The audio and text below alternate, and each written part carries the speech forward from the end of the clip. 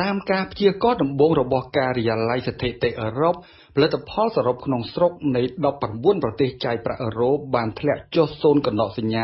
6%នៅត្រីមាសទី1ឆ្នាំ2021 បន្ទាប់ពីបានធ្លាក់ចុះ0កណ្ដោសញ្ញា7%នៅត្រីមាសទី4ឆ្នាំ2020 តាមលក្ខណៈបច្ចេកទេសការធ្លាក់ចុះចំនួនពីរត្រីមាសជាប់គ្នានេះមានន័យថាតំបន់អឺរ៉ូមានសេដ្ឋកិច្ចដើរថយក្រោយ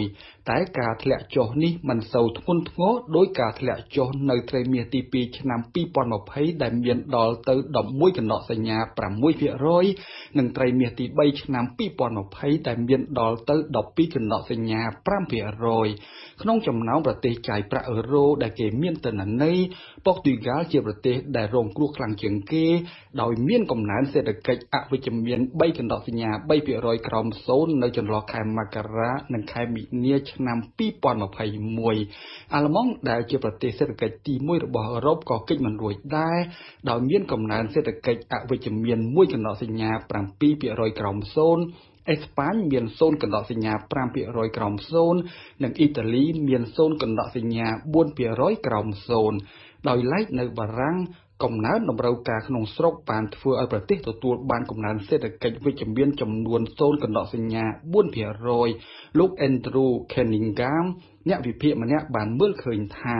អត្រាសេដ្ឋកិច្ចក្នុងតំបន់អឺរ៉ូសប្តាហ៍ថ្ងៃបន្តមានកម្រិតទាបជាងកម្រិតមុនផ្ទុះវិបត្តិ COVID-19 ចំនួន5កណ្ដកសញ្ញា5%ចំណែកអាមេរិកនិងចិនហាក់កំពុងរំកិលរកឃើញឡើងវិញនៅកម្រិតកំណើនសេដ្ឋកិច្ចដូចនៅមុនផ្ទុះវិបត្តិ COVID-19 ជាក់ស្ដែងចន្លោះខែមករានិងមីនាឆ្នាំ2021អាមេរិកមានកំណើនសេដ្ឋកិច្ចខ្ពស់ខ្លាំងមិនធ្លាប់មានគិតតាំងពីឆ្នាំ2003 ចំណែកចិនបានស្គាល់អត្រាផលិតផលសរុបក្នុងស្រុកហក់ឡើងដល់ទៅ18កណ្ដកសញ្ញា3%ក្នុងរយៈពេលដូចគ្នានេះមានហេតុផលសំខាន់ចំនួន2ដែលបានធ្វើឲ្យសេដ្ឋកិច្ចតំបន់អឺរ៉ូអូសជើងធៀបនឹងអាមេរិកនិងចិន ទី1ភាពយឺតយ៉ាវក្នុងការចាក់វ៉ាក់សាំងដែលតម្រូវឲ្យបិទគប់ប្រទេសដើម្បីទប់ស្កាត់នឹងការឆ្លង COVID-19 និងទី2ភាពយឺតយ៉ាវក្នុងការពន្លឿនផែនការផ្ដល់សន្ទុះដែលជាប្រាក់កម្ចីរួមសម្រាប់បាននារដូវក្តៅឆ្នាំ